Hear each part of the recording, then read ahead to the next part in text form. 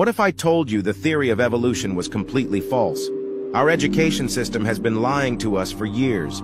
It's widely accepted that 66 million years ago, a meteorite hit Earth, leading to the dinosaurs' extinction. But what if it wasn't a meteorite? What if it was a spacecraft that carried the first humans? This vessel might have been a refuge for years post-impact, as we waited for the atmosphere to stabilize and dangers to subside. You might question why there are no remnants of this colossal spacecraft. The explanation could be that early humans dismantled it to craft tools and leverage its resources for survival. This extraterrestrial origin might also illuminate why ancient civilizations, like the Incas and Egyptians, showcased advanced knowledge of astronomy and energy, and why there are drawings resembling spacecraft in Egyptian hieroglyphs and Mayan pyramids.